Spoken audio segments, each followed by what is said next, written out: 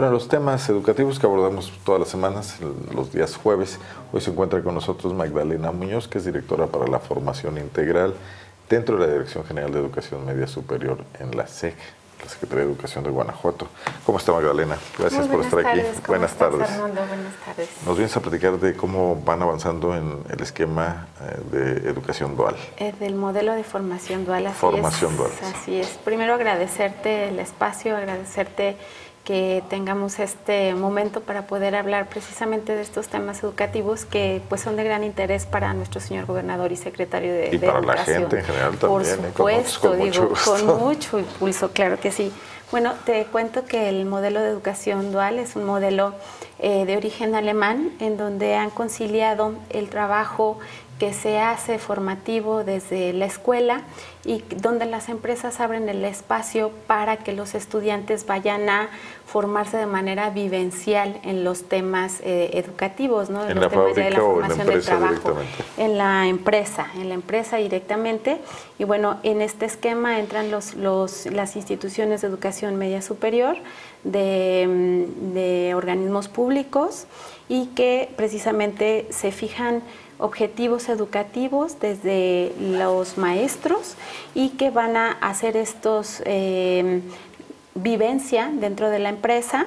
pero van directamente a trabajar o a ver van a trabajar, van a utilizar maquinaria, tiene que haber por supuesto ciertas condiciones de los empresarios, primero que sean empresas socialmente responsables, designan personal, designan maquinaria, designan bueno pues también los procesos en los que van a estar inmersos los estudiantes, ¿no? Y esto bueno facilita enormemente primero la decisión ocupacional de los muchachos, que por ahí ya van viendo qué es lo que les gusta, si les gusta, cómo se visualizan y bueno, también eh, en esta parte ya de que pues enriquece su currículum, que ese es otro factor que luego ellos, los que se enfrentan, en donde dicen, bueno, pues ya, ya salí de la escuela, pero ahora, ¿qué sigue? ¿Qué voy a hacer? Y, y no tienen la experiencia y muchas empresas pues les cierran la puerta por falta de experiencia, ¿no? Que es el círculo vicioso.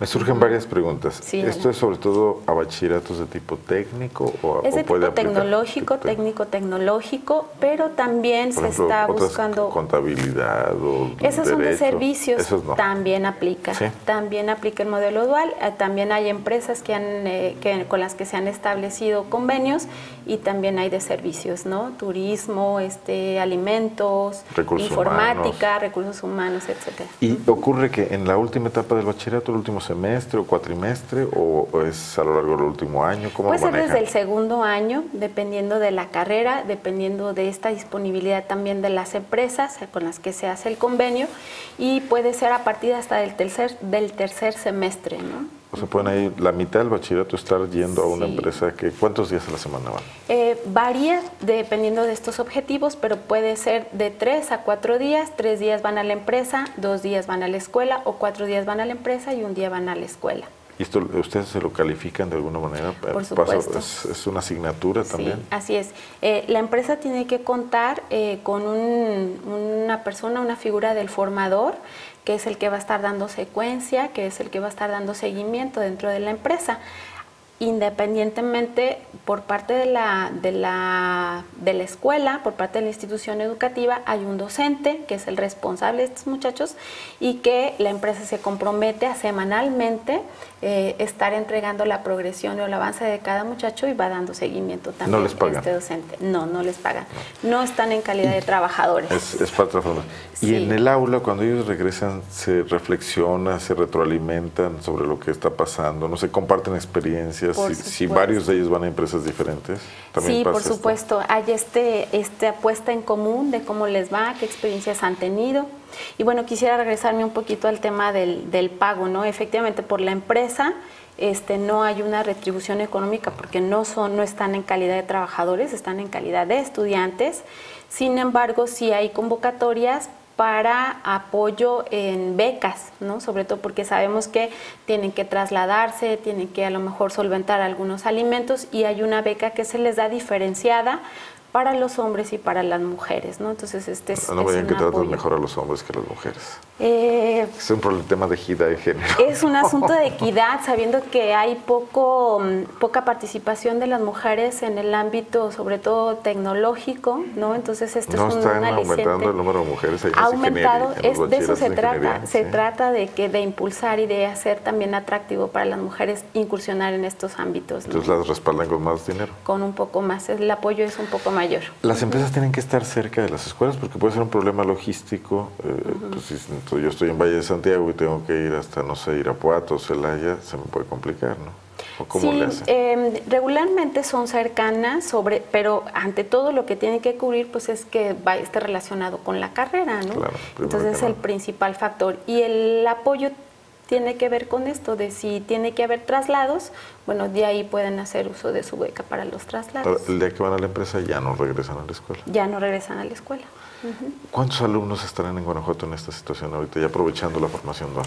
Tenemos eh, al momento 149 egresados del sistema. En este ciclo escolar tenemos 136 alumnos que están en, en el modelo, participando son en el modelo. poquitos, ¿no? ¿Cuántos estudiantes tiene bachillerato en el último año? Bueno, digamos? sabemos que la cobertura es ahorita, estamos, estamos digamos, en este proceso, justo por eso estamos eh, pues exhortando también a las empresas para que sean, eh, para que abran los espacios, ¿no? Pero sí sabemos que ¿Hacen gestión ustedes con la empresa o ellos se acercan? ¿Cómo es? Sí, eh, actualmente está participando Coparmex y algunas otras empresas que ya mencionamos del corte industrial, también están de servicios, perdón, y está participando también el sector automotriz.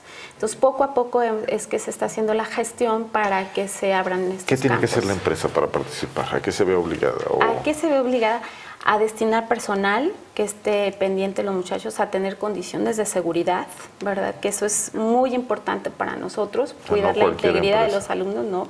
No le van a poner a, a- a en un área que en la que la- el estudiante tenga algún Ni riesgo. hacer el que vaya por las tortas, ni nada por el Tampoco, estilo. no, no, no, por eso tiene que quedar muy claro ahí el plan de formación, ¿no? Entonces tiene que destinar personal, tiene que este, en un momento dado dar esta, esta responsabilidad de estar emitiendo los reportes, ¿no? De cómo va el muchacho o, o cómo va el estudiante eh, dentro del- de su desarrollo en la empresa, ¿no? ¿Cuántas empresas son las que participan hasta ahorita? Hasta ahorita tenemos 22 empresas. Hace 22 falta que más generosidad de nuestros más. empresarios. Y- Y, y en escuelas es sobre todo que, eh, qué, qué tipo de planteles los que están participando. Ahorita está participando muy, muy este, acertadamente con Alep, que de hecho ellos ya venían trabajando un esquema. Está CECITEG, está DGETI, todos estos subsistemas de educación media ¿Sabes? superior. Sabes, en este momento no, no está. Entonces es un programa que empieza, pero hay que continuar empujando mucho. Así es. Sí, así es. Muy bien. ¿Qué se nos queda en el tintero? Pues mira, se nos queda pues esta invitación a las, a las empresas para que se acerquen, que sean ¿Es directamente en el parte de de esta ustedes? formación, directamente en oficinas centrales, en Secretaría de Educación, Dirección General de Educación. Dirección General de Educación Media Superior y, y saber que es un beneficio también social, ¿no? Que es un beneficio social que desde ahí ellos van a poder tener el contacto directo con los con los estudiantes, echarles ahí el ojo si les ven potencial y que bueno ya puedan captar también para su para su empresa este pues excelente capital humano. Estos jóvenes egresan con un bachillerato terminal que les da una Que les diploma de técnico también. Dos posibilidades, insertarse en el, en el ámbito laboral o, se- o continuar con sus estudios o ambos, ¿no?